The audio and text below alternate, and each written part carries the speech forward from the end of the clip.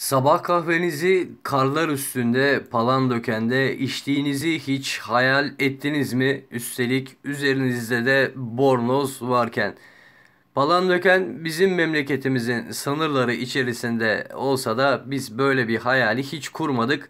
Ama Ruslar her konuda olduğu gibi bu konuda da yine hayal güçlerine çığır açıyorlar. Ellerinde kahveler, üzerlerinde bornozlar, iki sosyal medya fenomeni olduğu belirtilen Rus turist Palandöken'de önce karlar üzerinde ayağında kayaklar varken kahvelerini içtiler.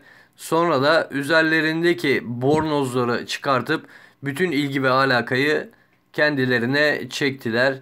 Bu hayatı Ruslar yaşıyor. Biz kendi ülkemizde bile Palandöken'e gidip bornozumuzda sabah kahvemizi içemiyoruz arkadaş.